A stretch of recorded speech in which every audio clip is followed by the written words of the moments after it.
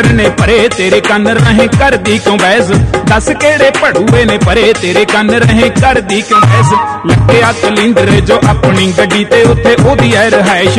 ਲੱਗਿਆ ਕਲਿੰਦਰ ਜੋ ਆਪਣੀ ਗੱਡੀ ਤੇ ਉੱਥੇ ਉਹਦੀ ਐ ਰਹਾਇਸ਼।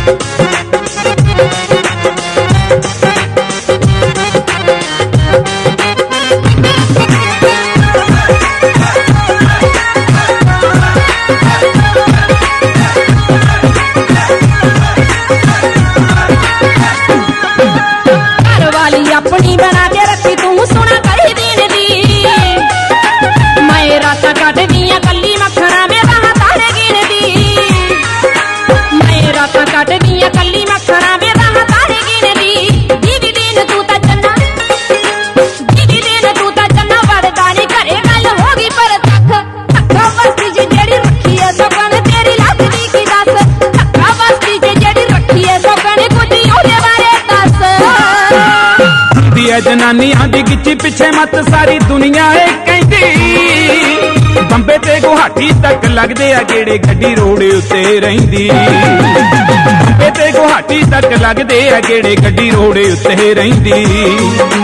ਢਾਬਿਆਂ ਤੇ, ਢਾਬਿਆਂ ਦੇ ਉੱਤੇ ਅਸੀਂ ਕੱਟਦੇ ਆ ਰਾਤਾਂ ਘਰੇ ਕਰਦੀ ਤੂੰ ਐਸ਼। ਲੱਗਿਆ ਕਲਿੰਡਰ ਜੋ ਆਪਣੀ ਗੱਡੀ ਤੇ ਉੱਥੇ ਉਹਦੀ ਐ ਰਹਿਸ਼ ਲੱਗਿਆ ਕਲਿੰਡਰ ਜੋ ਆਪਣੀ ਗੱਡੀ ਤੇ ਉੱਥੇ ਉਹਦੀ ਐ ਰਹਿਸ਼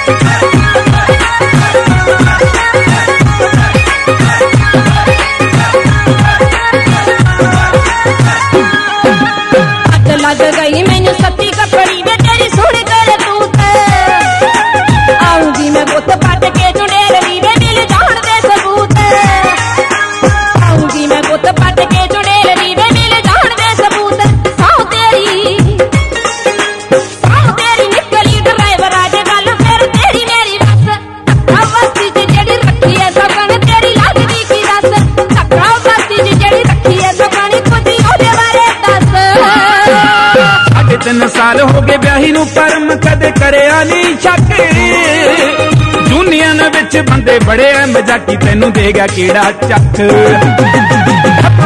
ਚ ਬੰਦੇ ਬੜੇ ਐ ਮਜ਼ਾਕੀ ਤੈਨੂੰ ਦੇਗਾ ਕੀੜਾ ਚੱਕ। ਐ ਨਹੀਂ ਢੋਲ ਤੇਰਾ।